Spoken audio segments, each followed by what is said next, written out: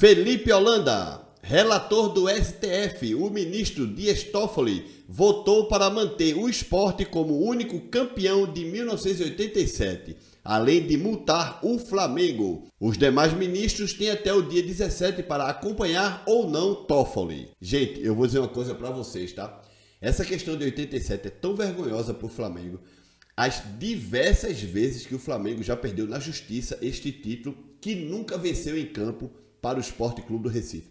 O Flamengo foi o campeão da Copa União, não foi o campeão brasileiro, assim como o Esporte foi o campeão do módulo amarelo. Para você que não sabe, o Esporte jogou o módulo amarelo e o Flamengo jogou o módulo verde, tá? Mas apelidaram o módulo verde de Copa União. É algo impressionante. Só em ter dois módulos, um verde e um amarelo, só mostra que os dois módulos faziam parte de um mesmo campeonato. Ó, oh, galera, eu vou, eu vou ser sincero para vocês, tá? No primeiro comentário fixado aqui deste vídeo, no primeiro comentário, vai ter um link e também na, nas telas finais aqui do vídeo, tá? Para quem não sabe o que é tela final, fica até terminar o vídeo que vocês vão ver aparecerem dois vídeos, tá? Isso são as telas finais. Mas, você que não tem muita paciência, aqui no primeiro comentário fixado, eu fiz um documentário sobre este tema de 87. Se você assistir esse vídeo completo e você voltar aqui e dizer que o Flamengo é o campeão de 87, você é um anti-esporte, cara. Você não, você não analisa o futebol como deve ser. Você analisa porque você é anti-esporte. Então você analisa ao que você quiser, desde que prejudique o Esporte Clube do Recife.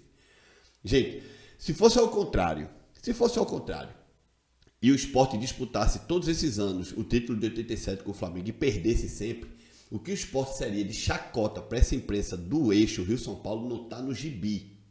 Como é o contrário, é o Flamengo que perde, ó, ficam caladinhos. Ficam caladinhos. Mas vai perder de novo. Relator vota a favor da manutenção do esporte como único campeão brasileiro de 87 e condena Flamengo à multa. Relator do processo, o ministro Dias Toffoli, mantém voto em favor da manutenção do título de 87 para o esporte e condena Flamengo à multa. Essa é uma reportagem de Paulo Mota. Iniciou-se mais uma disputa nos tribunais pelo título do Campeonato Brasileiro de 1987. Passados quase 40 anos do término da competição, em sessão virtual na segunda turma do Supremo Tribunal Federal, nesta sexta-feira 10 o julgamento do novo pedido do Flamengo para divisão do título de campeão brasileiro de 87. Divisão! Divisão, gente. Não é que o Flamengo quer o título só para ele, não. Ele quer dividir, somente dividir. Isso já, já mostra o quanto o esporte é o campeão dessa bagaça, pô. O relator do caso, o ministro Dias Toffoli, votou a favor da manutenção do esporte como o único e autêntico campeão do Campeonato Brasileiro de 1987. A votação ocorre no plenário virtual sem necessidade de debate.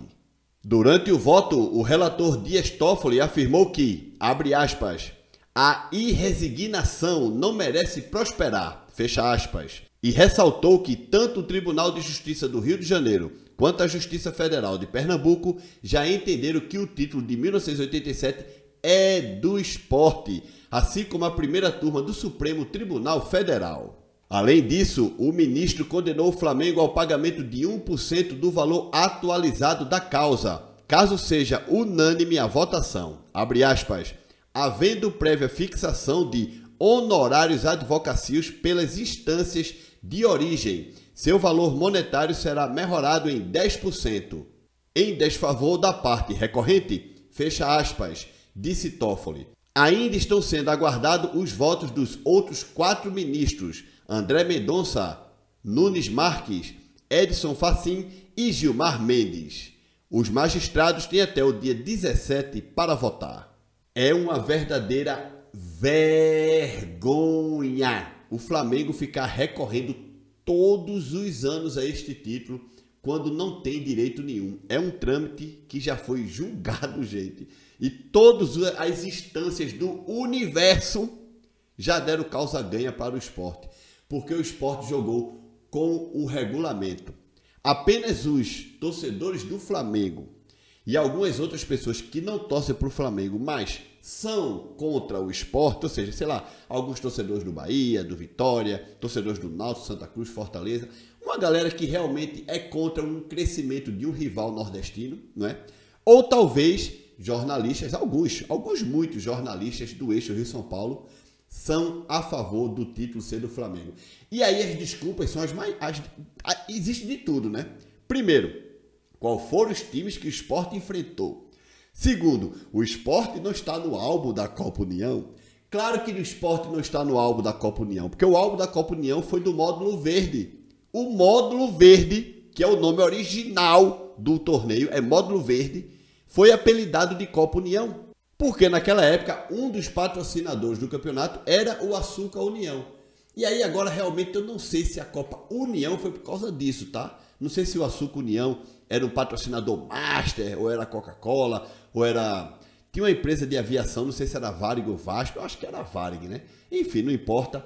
Enfim, o torneio foi apelidado de Copa União. E o módulo amarelo ficou como módulo amarelo. Eram quatro módulos, gente. O módulo verde, o módulo amarelo, o módulo branco e o módulo azul. Claro que o módulo branco e azul realmente ficaram muito marginalizados nesse torneio porque só disputavam entre eles mesmo, ninguém fala. O módulo amarelo e o módulo verde é que tinham os maiores clubes do Brasil na época, inclusive o Guarani, que tinha sido vice-campeão brasileiro no ano anterior, jogou o módulo amarelo. Como é possível? Gente, como é que o vice-campeão do torneio anterior é segunda divisão no torneio seguinte? Como é possível, gente? O Guarani jogou Libertadores da América, porra. Vocês estão doidos, é? Realmente algo impressionante. E outra, em 88, o Sport e o Guarani jogaram Libertadores da América. Naquela época só ia o campeão e o vice para Libertadores da América. Gente, tira o clubismo de lado. O esporte é o único vencedor dessa bagaça. E o São Paulo foi o primeiro clube a ganhar o Campeonato Brasileiro cinco vezes. Para você ganhar a taça das bolinhas grande, que hoje está com o São Paulo, você tinha que ser três vezes seguidas ou cinco vezes alternada, né? Por exemplo, 80, 81, 82. Ou 80, 81, 82, 86, 89. Entende? Era era para ver quem era cinco vezes primeiro campeão brasileiro ou três vezes seguidos. E foi São Paulo, velho. São Paulo. Por isso que existe uma foto, que é essa aí que vocês estão vendo, essa foto aí que vocês estão vendo, que a equipe do esporte tem duas taças da bolinha.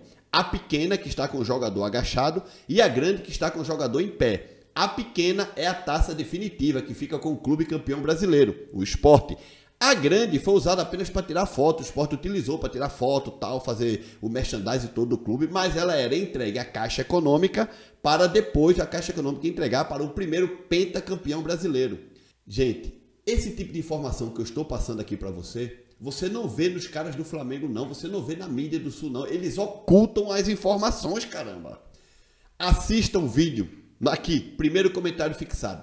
Assista o vídeo, assista se depois desse vídeo que está aqui no primeiro comentário fixado, você continuar dizendo que o Flamengo é o campeão brasileiro, você nada mais é do que um brincante.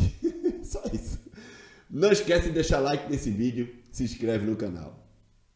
Tchau.